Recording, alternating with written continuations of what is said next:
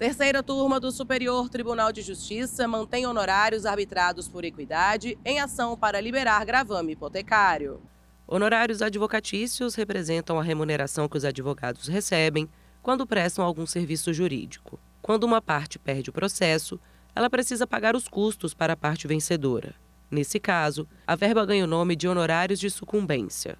E existe ainda os honorários por equidade, como explica o advogado Tiago de Pádua. Então, o artigo 85 do Código de Processo Civil, ele é um artigo que estabelece as regras, o mínimo e o máximo dos valores, em regra mínimo de 10% e máximo de 20% da condenação. E quando não houver condenação, estabelece o valor da causa. E se a causa não houver um valor mensurável, ou se o valor da causa for inestimável, ou se for muito baixo.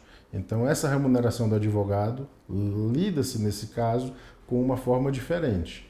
Ela vem, então, por equidade, permitindo que o magistrado possa, ele, então, fazer o arbitramento. Um quanto, estabelecer um valor. Então, isso é o honorário por equidade. Em Brasília, a Justiça fixou os honorários advocatícios pelo critério da equidade, em ação que pedia a baixa de gravame para liberar um imóvel da hipoteca, pois a dívida já tinha sido quitada pela proprietária.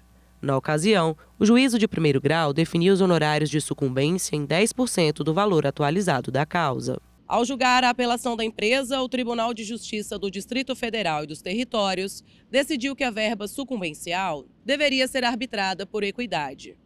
Diante da fixação dos honorários em R$ 1.500, as advogadas que atuaram em favor da autora da ação recorreram ao STJ. Elas alegaram a existência de proveito econômico correspondente ao valor do imóvel, visto que sua livre fruição seria consequência da baixa hipoteca. O colegiado da terceira turma negou o provimento ao recurso. A relatora, ministra Nancy Andrighi, destacou que a fixação dos honorários por equidade na hipótese analisada é adequada, uma vez que não há condenação, o proveito econômico não é mensurável e o preço do imóvel não serve de parâmetro para estabelecer o valor da causa.